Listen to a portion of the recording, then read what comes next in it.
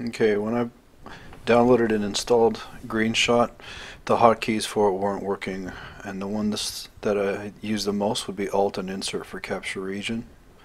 And I just wanted to have that working, because nothing would happen every time I pressed Alt and Insert. No photo, no nothing, just like I hadn't pressed it.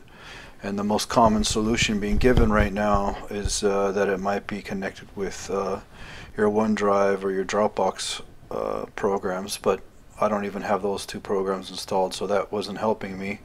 So what I did basically was just go into capture region and then click inside that text box and pressed Alt plus insert again, and then I pressed OK, and that fixed the problem.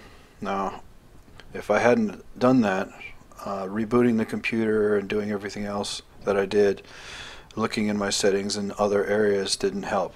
Um, so just do this and uh, hopefully it'll work for you. Windows 10.